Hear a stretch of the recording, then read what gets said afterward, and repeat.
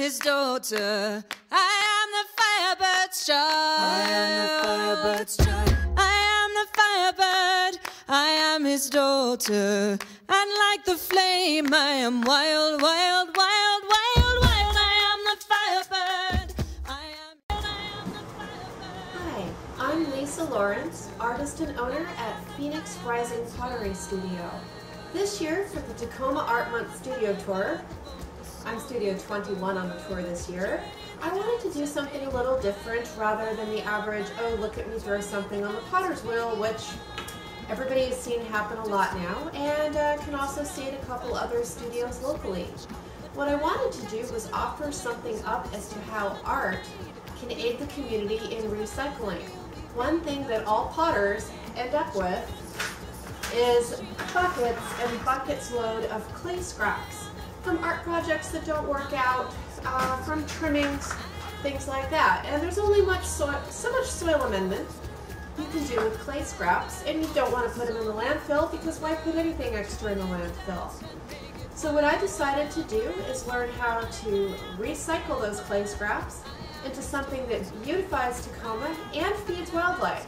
So what we're going to do on my portion of the studio tour is we're going to learn how to recycle clay scraps to make sunflower seed bombs.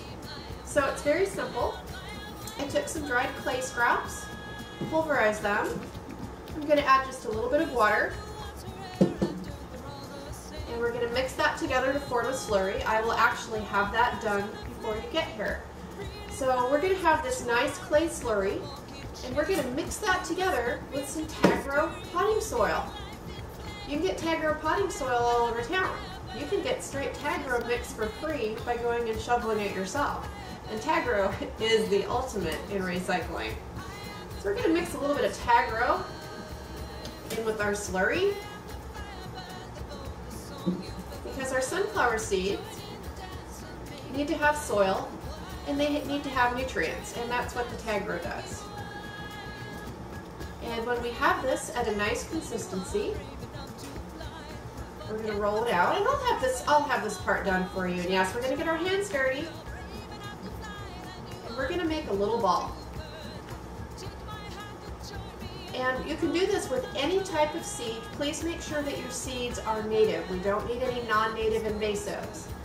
And so the seeds that I've chosen are black oil sunflower seeds. You can get these super cheap at uh, your at any local garden center. I got mine at uh, the Ace Hardware here on Hilltop. And we're going to make sure that those seeds are rolled up here in our sunflower seed bomb. And then we're going to set it out to dry. I'm actually going to give you a plastic baggie to take it home in. Just set it out somewhere on a sheet of newspaper and let it dry. And what you're going to end up with when the sunflower seed bomb is dry is the sunflower seeds encapsulated by the clay. The clay holds all of this together. The Tagro provides nutrients.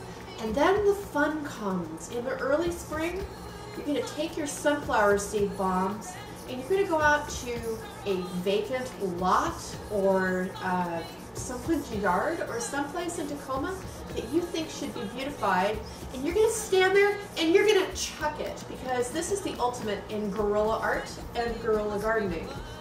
And what we can do with these sunflower seed bombs is we can beautify Tacoma.